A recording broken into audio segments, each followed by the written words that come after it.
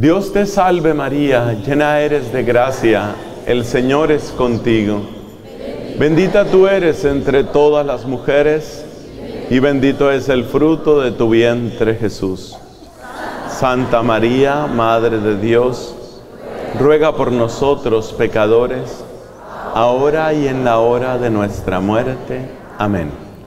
En el nombre del Padre y del Hijo y del Espíritu Santo. Amén. Por favor, siéntense. Hermanos queridos, 50 años de la renovación católica carismática. 50 años de inmensa bendición. Es el momento de reconocer qué es lo propio de este don que Dios le ha otorgado a la iglesia. En esta oportunidad yo quiero compartir con ustedes tres miradas, tres miradas. ¿Cómo ve al cristianismo la persona incrédula? Podemos decir cuál es la mirada que el mundo tiene sobre la fe cristiana. Esa se llama la mirada externa la mirada que el mundo tiene sobre la iglesia y sobre los cristianos. Esa es la mirada externa. Es la primera mirada que vamos a ver. Y es muy importante porque hoy se ha metido mucho en los medios de comunicación esa mirada, que es una mirada, como lo vamos a explicar, de desconfianza y es una mirada de desaliento, es una mirada de sospecha, especialmente en nuestros jóvenes, sobre todo en los lugares de estudio, en las universidades.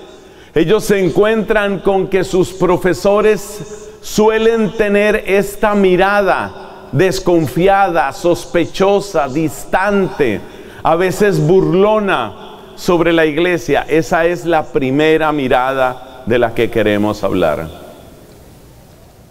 Luego vamos a hablar de una segunda mirada. Esa segunda mirada es la de aquellos que pertenecen a la iglesia católica, pero podemos decir que están avanzando en la vida simplemente por la costumbre mi papá, mi mamá eran católicos, me bautizaron a mí cuando yo era niño. Vamos a misa algunas veces. Es decir, yo sigo siendo católico, pero son los católicos de costumbre. Esa es la segunda mirada de la que vamos a hablar. La mirada del católico que se acostumbró.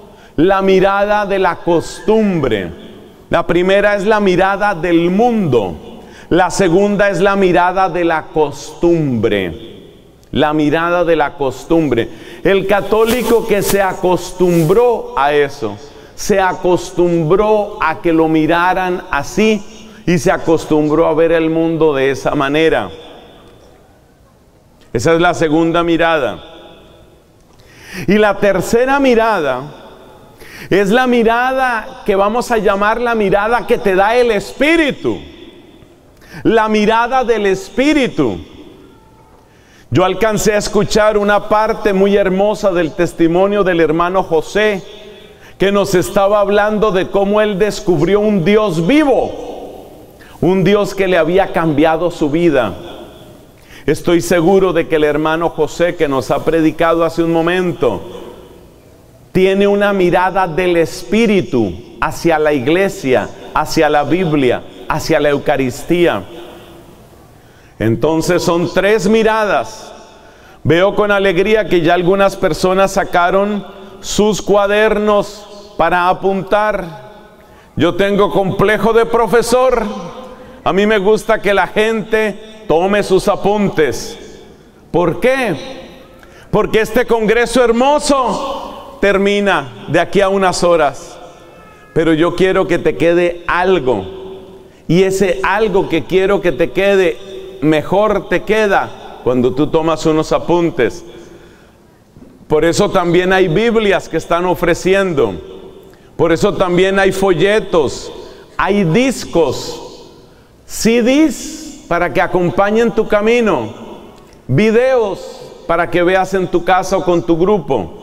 Allá, por ejemplo, he traído algunos que ustedes pueden en el momento del receso conseguir también. Lo importante de esto que es que esta fiesta no se acabe simplemente hoy, que esto marque una diferencia en tu vida. Tres miradas, ¿ya te las aprendiste? Son tres miradas que tenemos. La primera mirada es la mirada del mundo. La segunda es la mirada de la costumbre. La tercera es la mirada del espíritu. Si usted se aprende que esos son los tres temas de esta charla, ya usted con eso saca un provecho de este momento. Por eso la voy a repetir. La primera es la mirada del mundo. Respondieron unas 44 personas. Mucha gente todavía no se entera, sobre todo los de atrás están en este momento ubicándose. La primera es la mirada. La segunda es la mirada de la costumbre, la costumbre. Mi abuelita rezaba mucho el rosario, mi mamá me llevaba siempre a la misa. A mí me educaron en un colegio católico o yo iba los domingos a la escuela de la fe allá en mi parroquia. Eso está muy bien, pero a veces nos quedamos solamente en la costumbre. Y la tercera es la mirada la tercera es la mirada del Espíritu. Por última vez les pregunto, pero estoy respondiendo fuerte. Yo le puedo preguntar la primera, la segunda o la tercera, así que concéntrese. La segunda es la costumbre, ya van despertando, bendito sea Dios. La tercera es...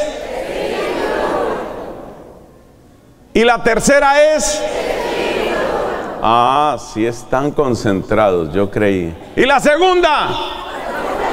¿Y la primera?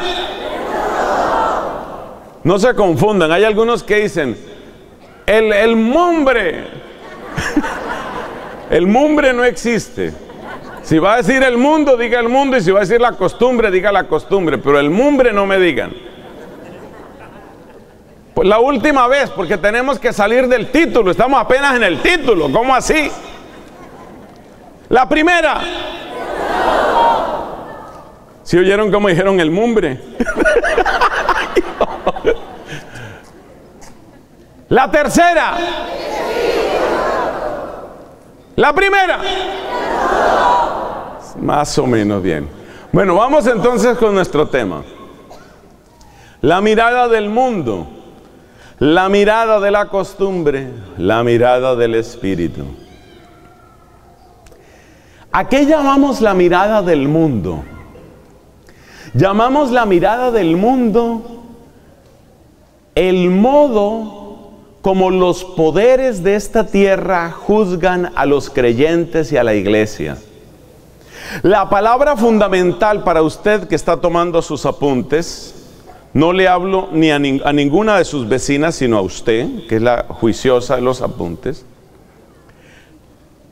La, parte importante en la mirada del mundo es desconfianza. Para el mundo, un cristiano es una persona sospechosa, es una persona peligrosa, es una persona rara. Porque el mundo es como un río en donde todo el mundo está obedeciendo. En el mundo, en la lógica del mundo, todos obedecen y todos van cumpliendo unos determinados pasos y todos van siguiendo unos mismos ídolos. En cambio, el cristiano es una persona rebelde. El cristiano es la persona que no se deja llevar por los ídolos. Y por eso el cristiano causa sospecha, causa extrañeza. Hay un texto bíblico que usted lo va a leer, en un, se lo voy a dejar de tarea. Un texto bíblico que es muy importante sobre cómo es la mirada del mundo. Se encuentra en el libro de la sabiduría, capítulo segundo. El libro de la sabiduría en ese capítulo nos cuenta cómo mira el mundo al creyente. Lo mira con desconfianza, con desprecio y después con odio. El libro de la sabiduría en el capítulo segundo nos presenta esa desconfianza y desprecio. Es el diálogo que tienen entre sí los que el libro de la sabiduría llama los impíos los que no tienen fe, los que no tienen un Dios, pero sí tienen muchos dioses. Y el mundo está lleno de idolatrías y hay que seguir esos ídolos. Y por eso el cristiano causa sospecha en el mundo porque no sigue esos ídolos, porque su comportamiento es extraño. Y la extrañeza del comportamiento del cristiano se convierte en una especie de denuncia de los muchos pecados del mundo. Le voy a dar ejemplos. En una universidad entra una joven que es cristiana católica convencida. Ella tiene muchas compañeras de estudio y muchos compañeros. Pero resulta que entre sus compañeros hay un muchacho que a ella le gusta mucho. Un muchacho atractivo, inteligente, es todo un caballero. Y la alegría de esta chica crece porque ese muchacho parece que se ha fijado en ella. Efectivamente, el muchacho evidentemente se interesa por esta chica, tiene detalles con ella, la invita a salir, todo parece andar muy bien, parece que una relación romántica hermosa está en el horizonte. Después de que va avanzando esta reunión, han tenido una, dos comidas juntos, han compartido, se han reído, se han sentido a gusto el uno con el otro. Entonces este muchacho quiere dar un paso más. Y la manera que él tiene de dar un paso más es la que presentan las películas de Hollywood. ¿Cuál es esa manera?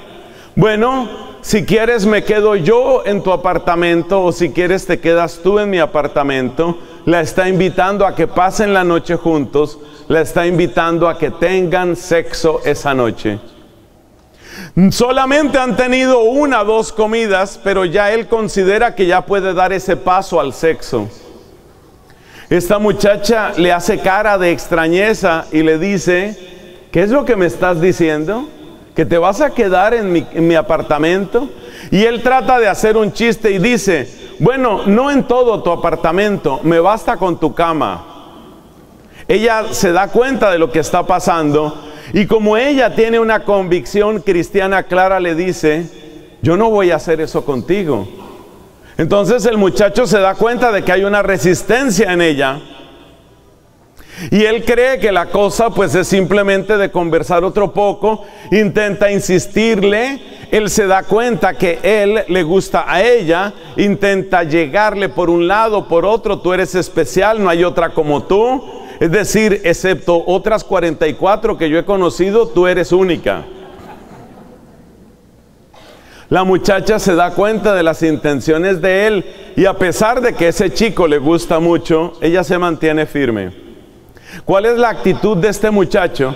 Yo creí que tú eras una muchacha liberada, una muchacha moderna, pero me doy cuenta que eres anticuada, acomplejada, seguramente que hasta católica serás. Él se da cuenta de que el catolicismo de ella es un estorbo para lo que él quisiera. Eso es lo característico de la mirada del mundo. Porque resulta que es un elemento fundamental de nuestra fe cristiana el valor que cada uno de nosotros tiene, cada hombre y cada mujer. Y es un elemento esencial, que nuestro cuerpo no es un entretenimiento ni un simple instrumento del afecto. Nuestro cuerpo es templo santo. Y además, el cuerpo de la mujer es el primer lugar que Dios bendice para dar origen a la vida humana. En el cuerpo de la mujer están las fuentes de la vida. Ese no es un juguete simplemente para pasar una noche para ver si me gusta o no me gusta este chico.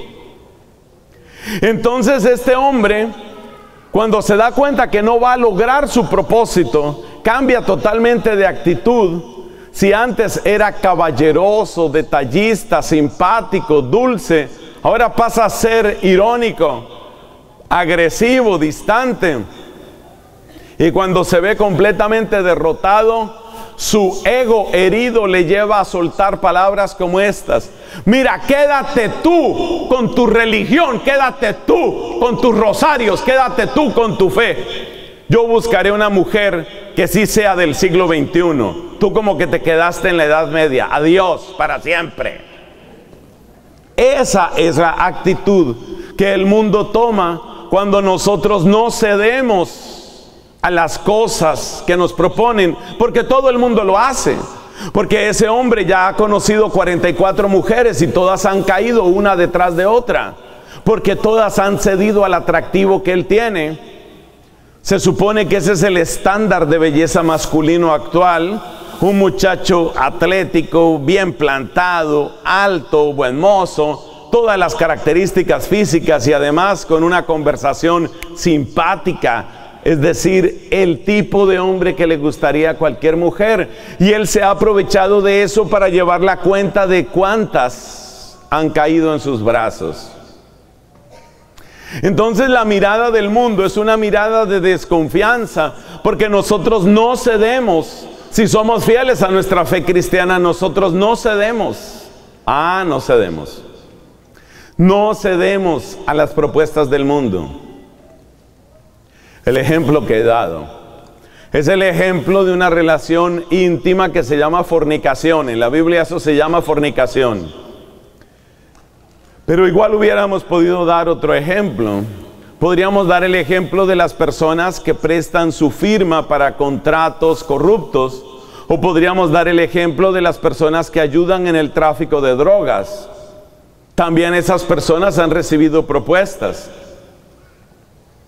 No hace mucho estaba ayudando en una misión en un país que quiero mucho, Bolivia, y me comentaban cómo a muchos de los campesinos bolivianos les están dañando el corazón porque por el transporte de un kilogramo de pasta de coca entre Bolivia y otros países vecinos, por cada kilogramo le dan 100 dólares, que es muy poco si te pones a pensar.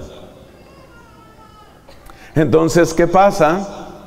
Que una persona puede transportar 5 o 6 kilos de esos muy escondidos entre su ropa, entre fronteras, con países vecinos, y se hace 500, 600 dólares en tres horas.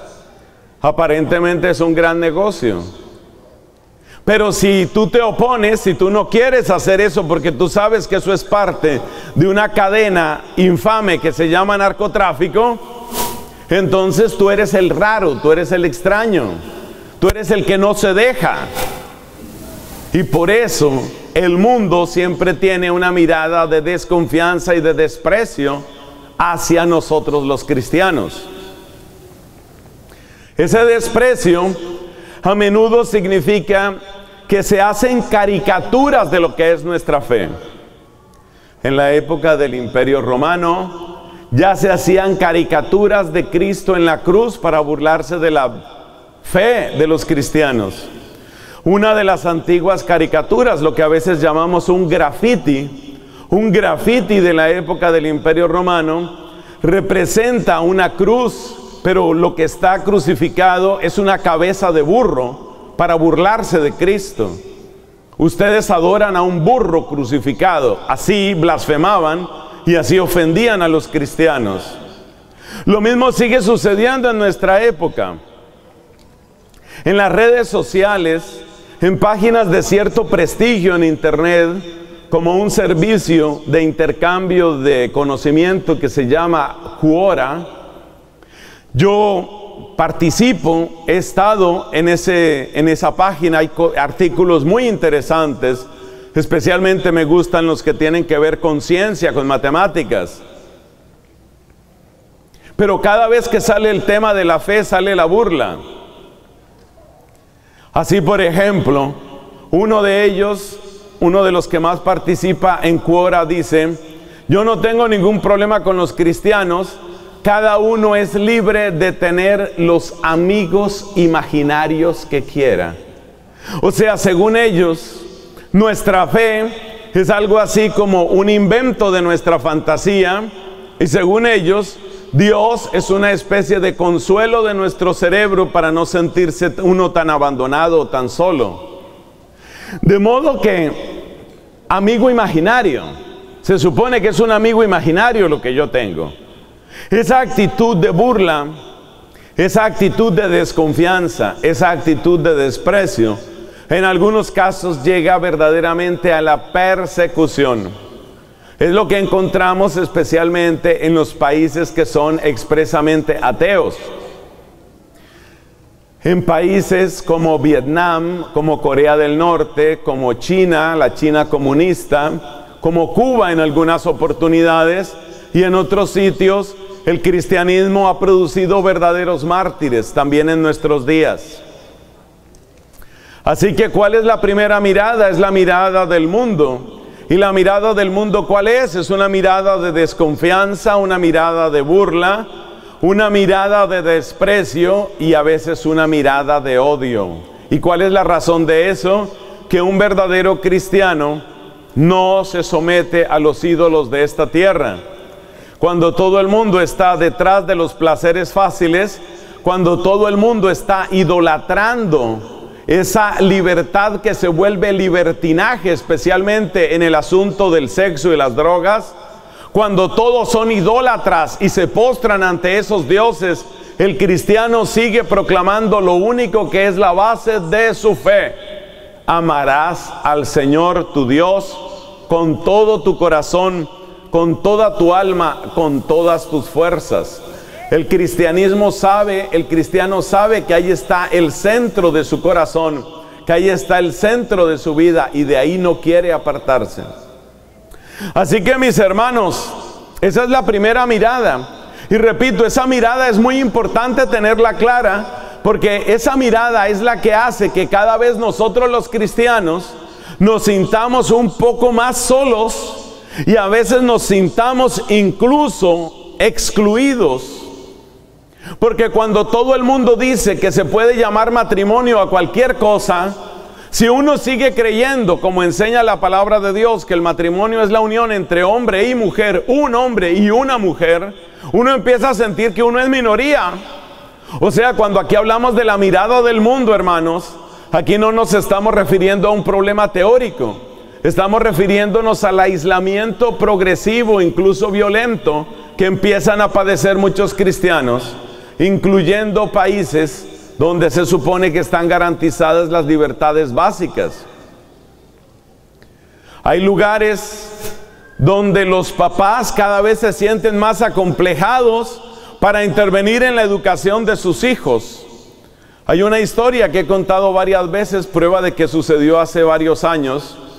La historia de lo que pasó en un país vecino, en Canadá, Resulta que la profesora dice a los niños que para el día de mañana tienen que traer escrita una historia de un niño que es hijo o de dos papás o de dos mamás. Y resulta que el niñito se queda confundido, no sabe cómo escribir esa historia y entonces le pide ayuda a su papá. Y el papá se queda escandalizado y dice, pero ¿por qué en el colegio le tienen que poner esta tarea a mi hijo? Pero cuando el papá va a reclamar en la escuela, lo que le dicen en la escuela es, estamos educando a los hijos, a los niños, para la tolerancia, para la no discriminación. Y si usted no está de acuerdo con esto, entonces usted no puede tener a su hijo en este lugar. Pero resulta que ese lugar es una escuela pública. Entonces, ¿para dónde se va a llevar al hijo? Cuando el papá vuelve a intervenir y a decir, pero es que yo no quiero que a mi hijo le enseñen eso, entonces le dice, si usted me levanta la voz, yo puedo llamar a la policía. Y si usted se sostiene en su postura, usted puede perder la custodia de sus hijos. Entonces cada vez más los papás se van sintiendo acomplejados, cada vez los papás se van sintiendo más reducidos. Porque esas son las consecuencias de la mirada del mundo.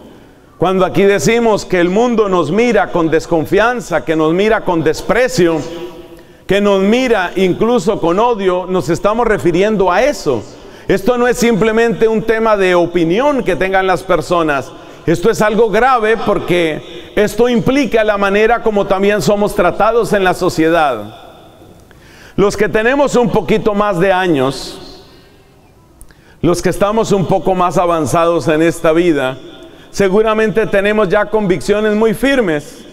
Y aunque uno no le desea el mal a nadie, y aunque uno ora por todos, y aunque uno es respetuoso con todas las personas de la sociedad, todas, todas, no importa cuál sea su orientación, su clase social, su raza, su etnia, su origen, aunque uno es respetuoso con todos, la verdad es que la situación es mucho más difícil para los niños y los jóvenes.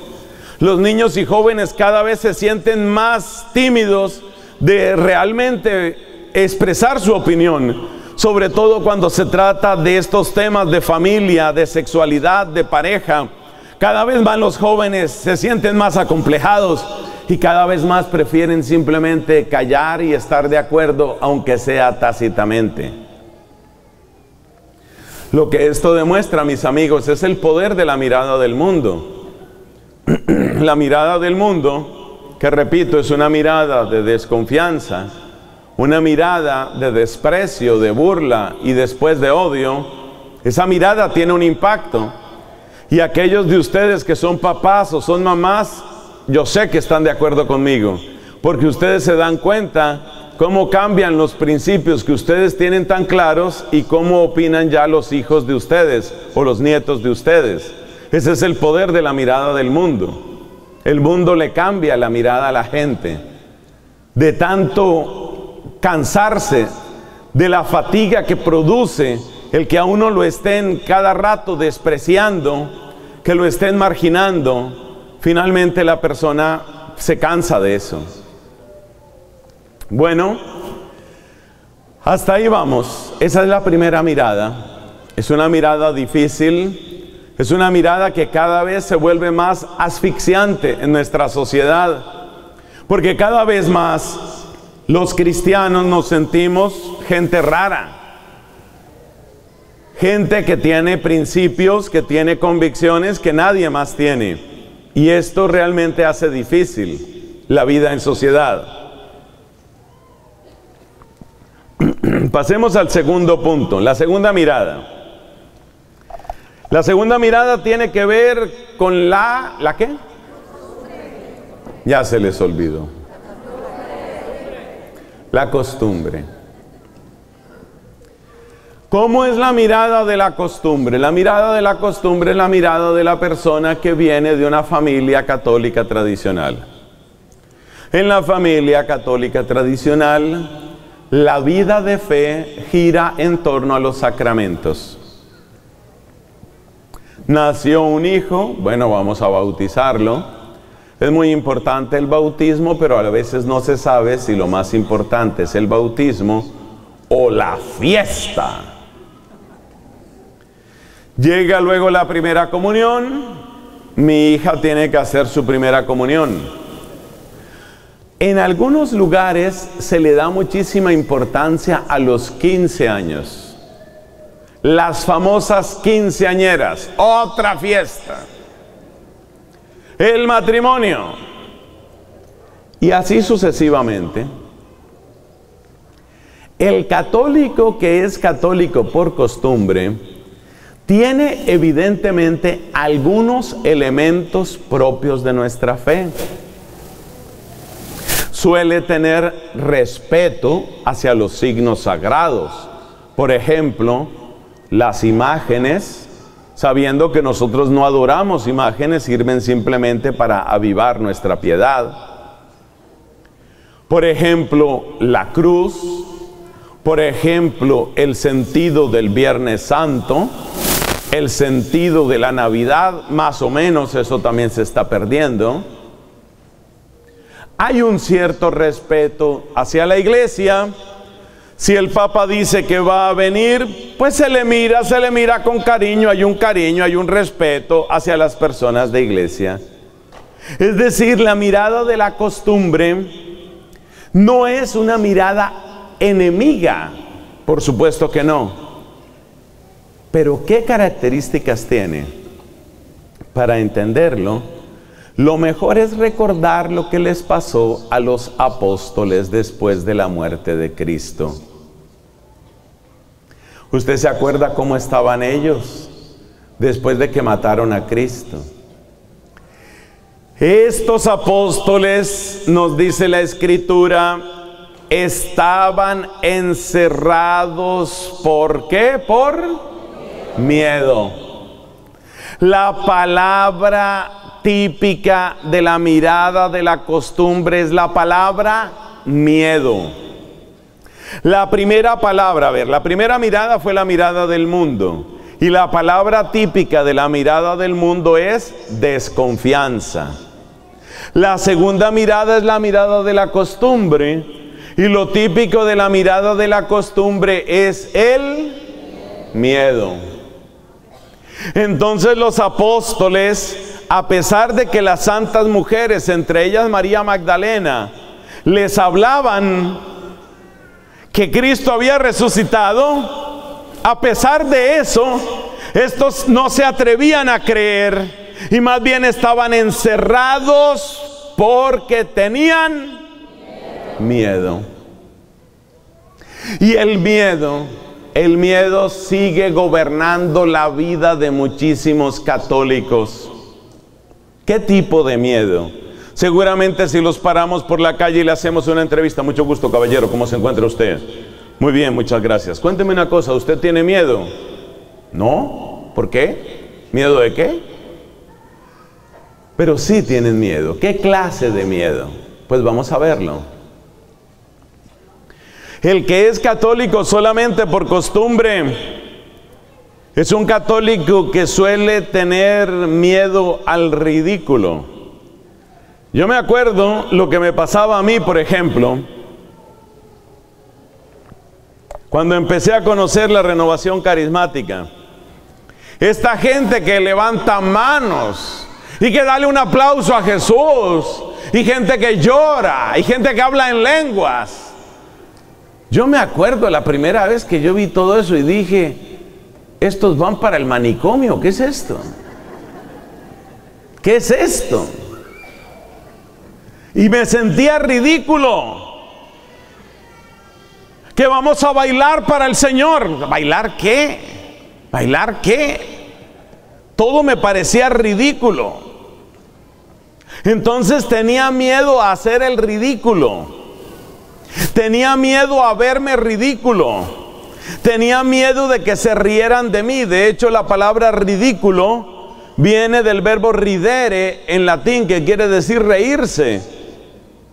Entonces, ridículo es lo que produce una risita. Eso es lo que significa. Y yo sentía que yo estaba haciendo el ridículo si me ponía en eso.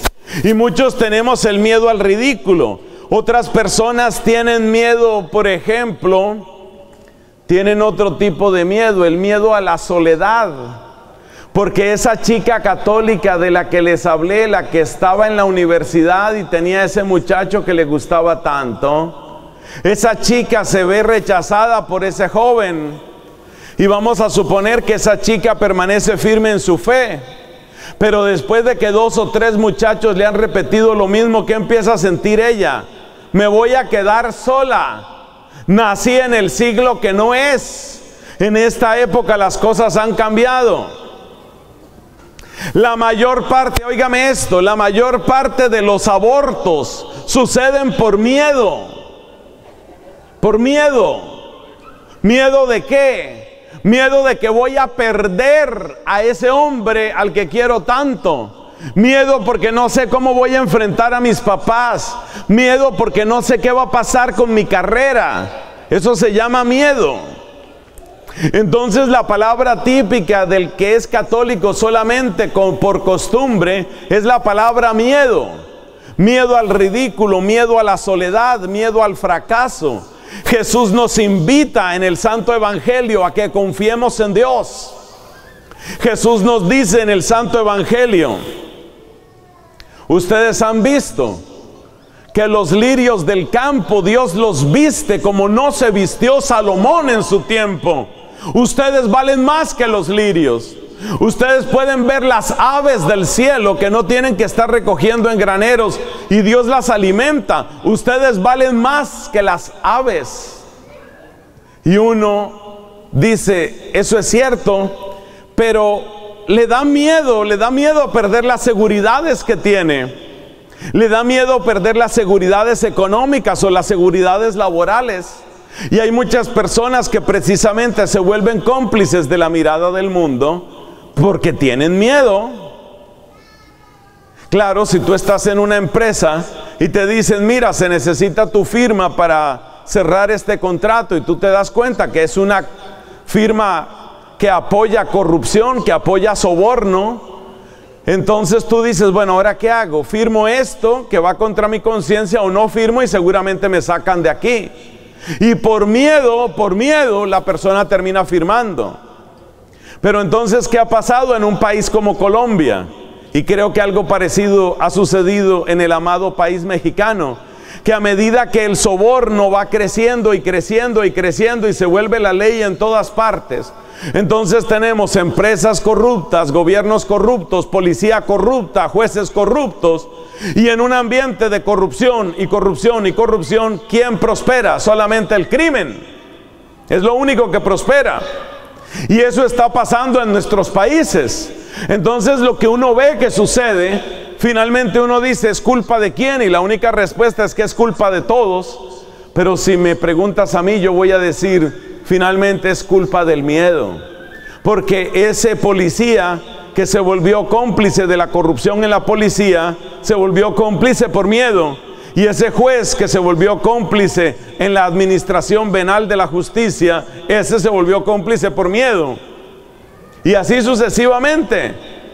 Y entonces se nos va entrando la corrupción en todas partes. ¿Y qué es lo que le da alas a la corrupción? El miedo.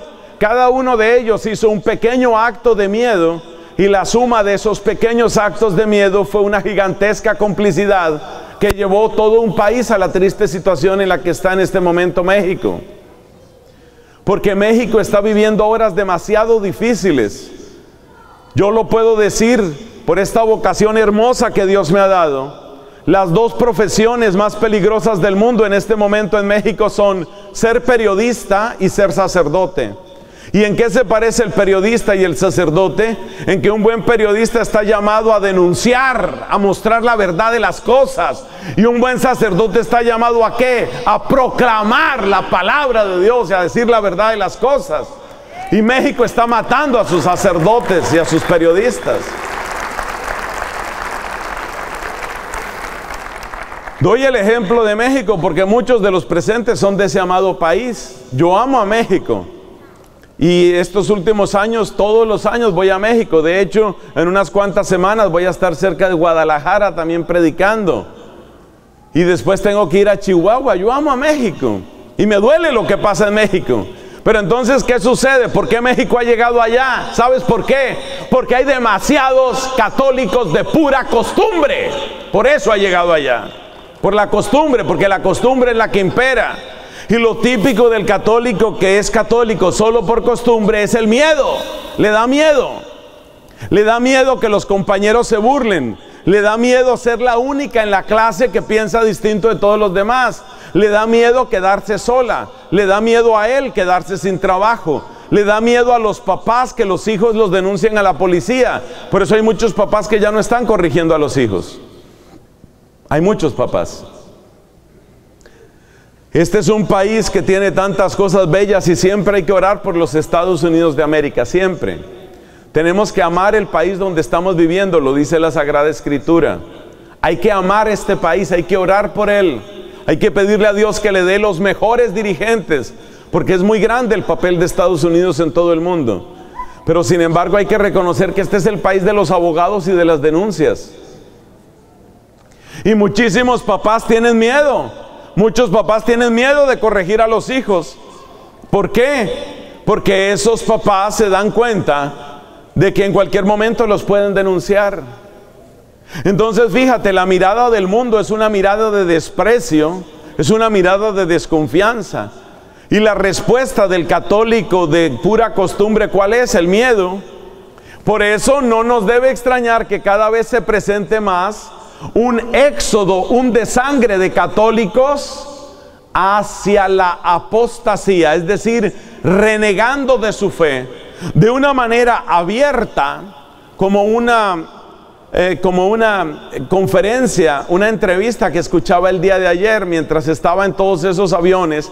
A mí me gusta escuchar eh, entrevistas, programas documentales. Estaba escuchando una entrevista, una señora filósofa, y esta señora decía, yo perdí la fe en Dios sobre los 21 años de edad. ¿Y sabes de qué está escribiendo ella ahora? Está escribiendo sobre la soledad. La soledad. Y ella dice, yo admiro lo que sienten las personas que tienen fe, pero yo ya no tengo fe, lo decía abiertamente, ha apostatado, ha dejado su fe. Entonces date cuenta, si el mundo nos trata con desconfianza y con dureza, y si nosotros lo único que tenemos es cobardía y miedo, entonces ya sabes qué es lo que va a pasar. Va a darse un desangre de católicos hacia la apostasía, es decir, van a renegar de su fe, van a dejar la práctica de la fe. Y eso está sucediendo en la población hispana en Estados Unidos.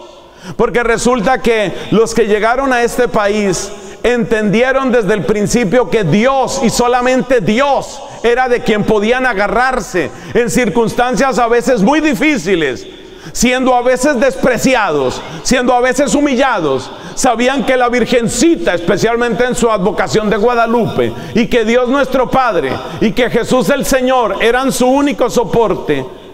Pero ya los hijos que nacieron en este país y ya los hijos que se han sentido sometidos a esa presión de la mirada del mundo, ya los hijos ya no tienen esa fe.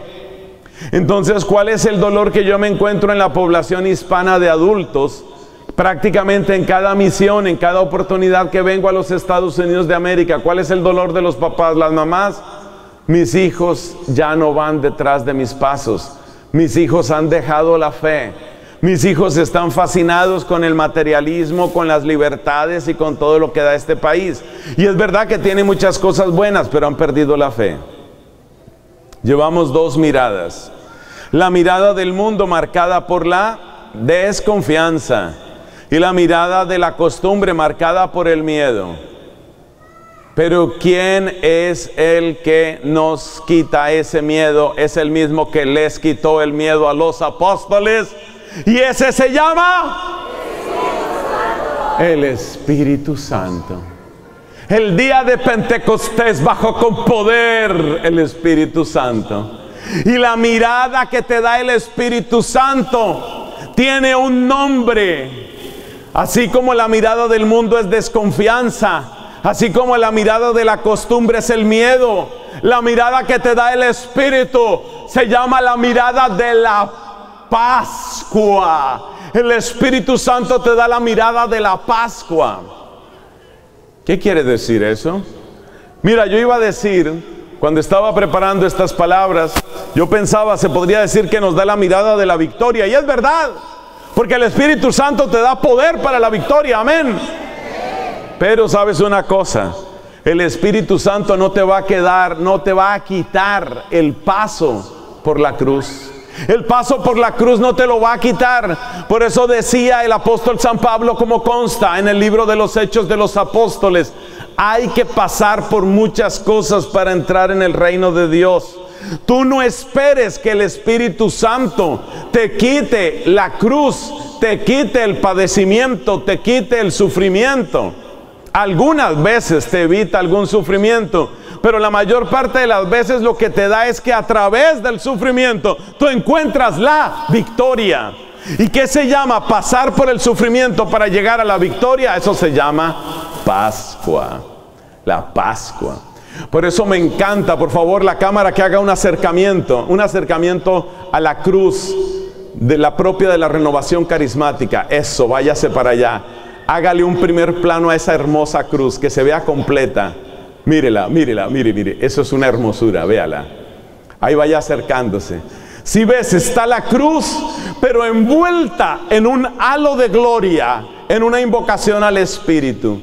Ese, ese es el lema de la renovación. No quitamos la cruz, sino que la cruz queda vestida, la cruz queda revestida de la gloria, del triunfo de la Pascua. Eso es lo que te da el Espíritu. Porque si ustedes leen el libro de los Hechos de los Apóstoles, que es en cierta manera el manual de la renovación carismática católica, ustedes se dan cuenta, desde el capítulo tercero, atención, Pentecostés fue el capítulo segundo, desde el capítulo tercero de Hechos de los Apóstoles, ustedes encuentran que a los apóstoles los metían a la cárcel, los amenazaban, los azotaban y muy pronto encuentran en el capítulo noveno de los Hechos de los Apóstoles que ya empiezan a matar gente. El primero de los mártires cristianos se llamó Esteban. Él es el proto mártir, el primer mártir de la iglesia.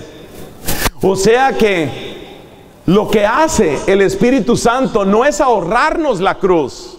Por favor, desconfíen ustedes, hermanos, desconfíen de aquellos predicadores o predicaciones que presentan las cosas como que nunca te va a pasar nada. Todo te va a salir muy bien. Todo va a funcionar de maravillas. Como pasó con un pastor protestante allá en mi país. Este hombre estaba dando su testimonio y decía, antes de que yo conociera a Jesucristo, hermanos, tenía que andar en una bicicleta de segunda mano. Ahora conocí a Jesucristo les presento mi automóvil BMW. Ah, la gente aplaude, bravo. Antes de que yo conociera a Jesucristo, yo vivía en una habitación de 25 metros cuadrados. Ese era mi apartamento, era todo lo que tenía. Sufríamos mucho con mi esposa. Ahora les presento en las diapositivas esta mansión de 1.200 millones de dólares. Ahí pueden ver lo que el Señor ha hecho en mi vida. La gente aplaude. Antes, cuando yo no conocía al Señor, estaba casado con esta señora fea, horrible era ella. Ahora les presento a mi esposa. Bonita ella. Entonces, hermanos, cuidado con eso. Eso se llama un engaño. Ese engaño se llama el Evangelio de la Prosperidad que es presentar las cosas como que nunca vas a tener problemas, todo te va a salir bien, eh, todos te van a querer, todo te va a funcionar. Eso no es lo que dice Cristo en la Biblia. Cristo en la Biblia dice, el que no tome su cruz cada día no puede ser discípulo mío. Y el hermano José cuando estaba dando su testimonio, en lo más fuerte de la oración lo que nos decía es que podamos tomar la cruz sobre nuestra espalda, pero no una cruz como si fuera una maldición, sino una cruz como un puente de gracia y de gloria que nos trae la bendición del Señor. ¿Y quién es el que me da esa mirada? El Espíritu Santo. Es el Espíritu Santo el que me da esa mirada. Entonces el Espíritu Santo es el que me arranca el miedo el Espíritu Santo es el que me permite repetir las palabras que dijo Jesucristo, capítulo 14 de San Marcos. Allá dice Jesús, momentos antes de su pasión, ustedes me van a abandonar, les anuncia a los apóstoles, pero yo no estoy solo, el Padre está conmigo. Y yo quiero que esa jovencita que está en el college, que está en la universidad, y que a veces siente miedo, me voy a quedar sola, no voy a encontrar a nadie, nadie me va a querer. Yo quiero que esa jovencita hoy sienta el poder del Espíritu Santo que le dice, aunque parezca que te vas a quedar sola, Dios estará siempre contigo y Dios te dará la victoria. Porque la mirada que me da el Espíritu es una mirada de Pascua. Entonces, ¿qué es, hermanos? ¿Qué es la renovación carismática y cuáles son sus características? Te lo he contado con la historia de, de las tres miradas. No te quedes en la mirada del mundo con desconfianza hacia la santidad, hacia la cruz, hacia la iglesia y dejándote llevar por el río de los ídolos de esta tierra. No te quedes con esa mirada, porque en esa mirada hay esclavitud. Y acuérdate lo que dice el Salmo, son un rebaño para el abismo.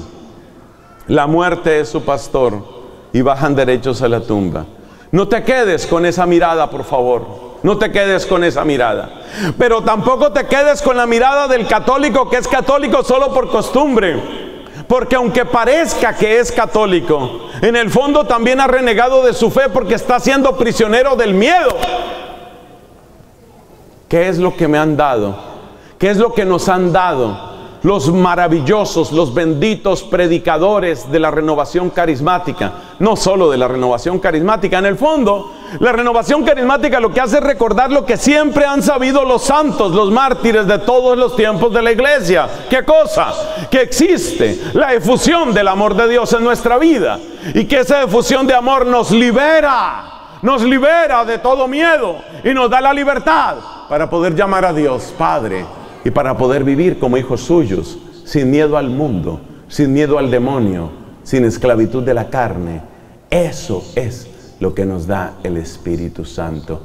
Ese es el poder del Espíritu Santo.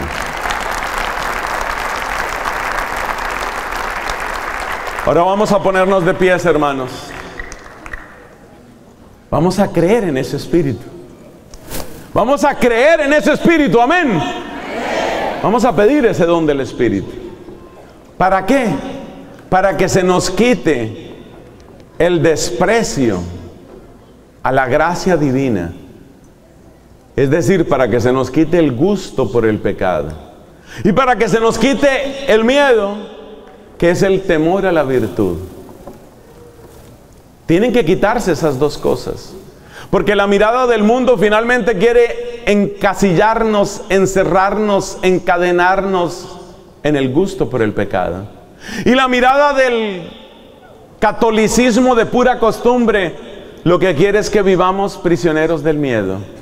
No quiero ser prisionero del pecado, no quiero ser prisionero del miedo. Vamos a repetir esas dos frases. Después de mí, por favor. No quiero ser prisionero del pecado. Yo tengo una pregunta. ¿Vinieron hombres aquí o solo mujeres? yo no oigo a los hombres. Tal vez están todos mal de la garganta, creo. No pueden hablar. A ver, señores, hombres, varones, sean varones. Después de mí, no quiero ser prisionero del pecado. Mujeres, no quiero ser prisionera del pecado. Hombres, no quiero ser prisionero del miedo. Mujeres, no quiero ser prisionera del miedo. Solo todos, solo Jesús es el Señor.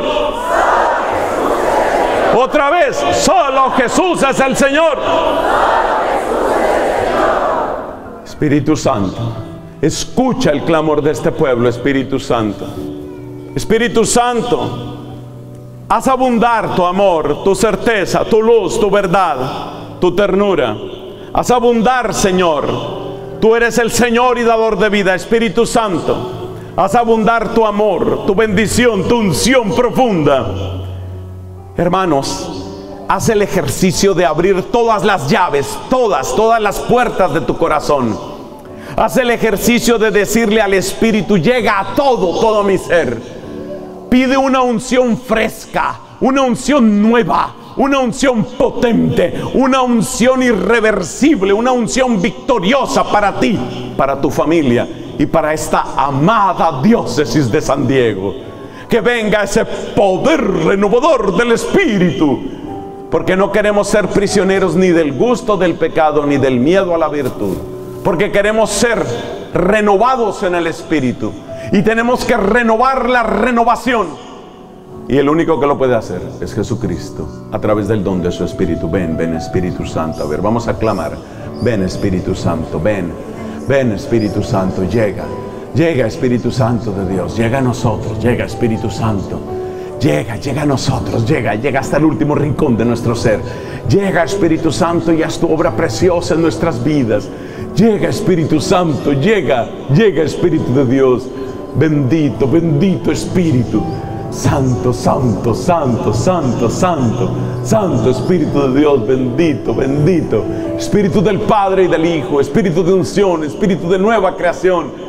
Espíritu que consagra las especies eucarísticas. Espíritu bendito. Gloria, gloria a ti Jesús. Gloria a ti Señor. Gloria a ti Padre Celestial. Gloria a ti Señor Jesucristo. Gloria a ti Espíritu de amor. Gloria, gloria a ti. Gloria y alabanza Señor. Gloria, gloria a ti Señor.